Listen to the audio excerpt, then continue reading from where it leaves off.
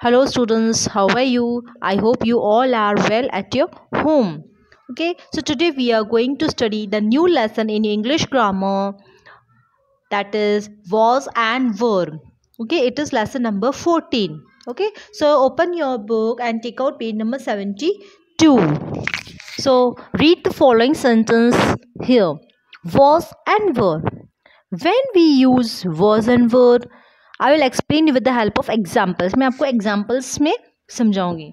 He was angry she was happy it was raining we were in the plane yesterday you were not well last week they were hiding behind the sofa okay so we use was when we talk about one person thing और object that is singular हम was कब use करते हैं? जब हम किसी एक व्यक्ति, वस्तु या प्राणी की बात करते हों okay and we use were when we talk about more than one person thing और ऑब्जेक्ट वर यूज़ कब करते हैं? जब हम किसी एक से अधिक व्यक्तियों या वस्तुओं या प्राणियों के बारे में बात करते हैं ओके? तब हम वर यूज़ करते हैं ओके ना अंडरस्टैंड द टेबल इस टेबल को अच्छे से समझना है then you will easily understand okay so we will use was with he she it girl और boy okay?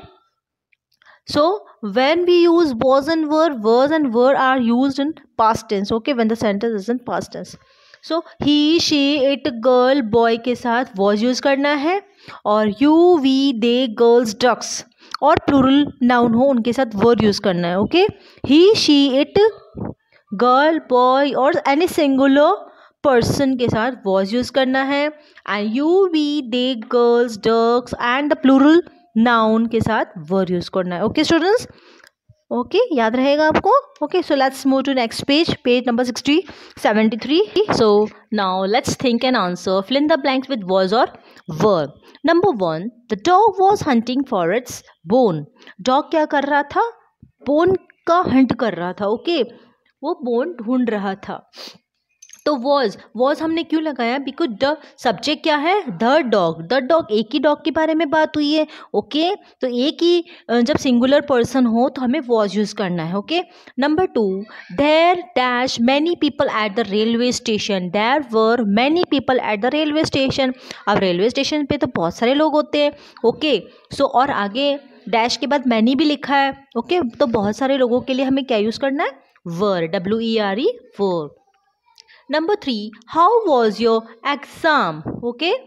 Number four there were many dishes on the table यहाँ पे भी फिर से वही बात हुई है। डैश के बाद मैनी लिखा हुआ है okay so again we will write were number five they were in Delhi last Sunday last Sunday को वो लोग कहाँ थे? दिल्ली में ओके दे दे मीन्स वह लोग बहुत सारे यहाँ पे दे क्या है? प्लूरल सब्जेक्ट है okay number six the baby was crying for milk baby अब यहाँ पे एक ही बेबी है बहुत सारे बेबी नहीं है तो सिंगुलर पर्सन के लिए वॉज़ यूज़ करना है okay number seven the students were not able to solve the sum now the students students यानी बहुत सारे बच्चे ओके okay? तो प्लूरल uh, सब्जेक्ट के लिए ये क्या यूज़ करना है? Were okay the students were not able to solve the sum Number 8. The bag was stolen from the house. Now here the subject is the bag. Bag क्या है singular subject. Okay. Number 9. The boys were fighting. Now the subject is plural. Subject क्या है plural है ना the boys है one boy नहीं है बहुत सारे बॉयज़ है तो हम क्या यूज़ करेंगे were number ten Sudha Chandran was an excellent dancer before she met with an accident Sudha Chandran was an excellent dancer Sudha Chandran एक बहुत अच्छी डांसर थी जब उसका एक्सीडेंट हुआ था। मतलब एक्सीडेंट से पहले वो बहुत अच्छी डांसर थी। ओके okay, तो सुधा चंद्रन तो सिंगुलर पर्सन है। हम एक ही व्यक्ति की बात कर रहे हैं ना? ओके okay, तो यहाँ पे वॉज़ आएगा। ओके सिंगुलर सब्जेक्ट के लिए।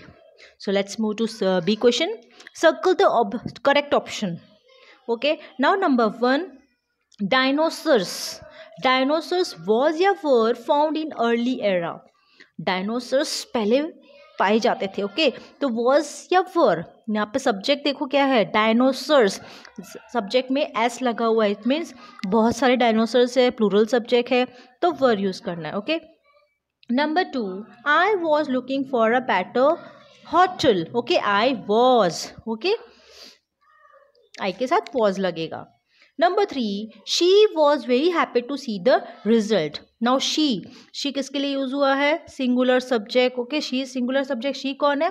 कोई गर्ल है, लेकिन एक ही गर्ल है okay do you remember that table आपको टेबल याद है? He she it girl boy का नेम हो और एक ही नाम हो तो हमें क्या यूज़ करना है? Was okay number four the girls were practising for the practicals now the subject is plural यहाँ पे सब्जेक्ट क्या है?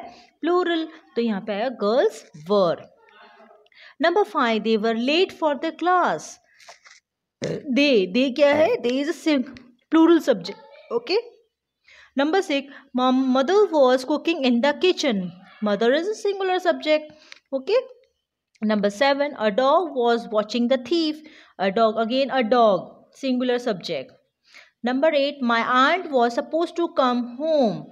My aunt. Only one auntie hai. Okay. So you will write was. Okay. Now let's move to page number uh, page 74. Now look at the table and make sentences. Okay now the table is given table दिया हुआ है आपको sentence बनाने हैं okay okay? एक लेकिन अच्छे से परफेक्ट uh, मैच होने चाहिए sentence okay now the clowns clowns were performing in a funny way clowns क्या कर रहे थे? फनी वे में परफॉर्मिंग कर रहे थे okay now second they were in a park last evening last evening वो लोग कहाँ थे? पार्क में थे okay now third I was lost in the crowd मैं क्राउड में खो गया था। क्राउड मीन्स भीड़. Number four he was angry with me वो मुझसे एंग्री है okay number five they were plucking leaves from the trees वो लोग क्या कर रहे थे? पेड़ से पत्ते तोड़ रहे थे। Number six my mother was unhappy to hear the result understood now the clowns clowns है प्लूरल सब्जेक्ट तो वर आएगा। दे के साथ वर आएगा ओके okay?